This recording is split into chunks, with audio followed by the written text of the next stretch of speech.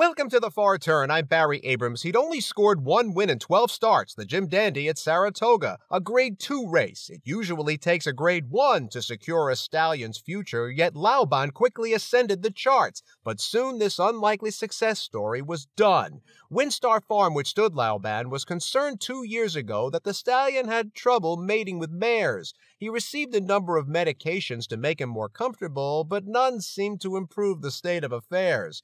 Enter Dr. Heather Wharton, who administered a cocktail of drugs she said she'd used many times before. But this time, Laoban went down and started shaking violently. A few minutes later, he died on the stall floor.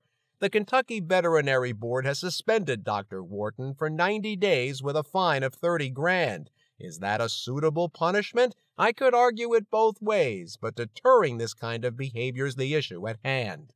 Have a good day, everybody. We'll see you tomorrow.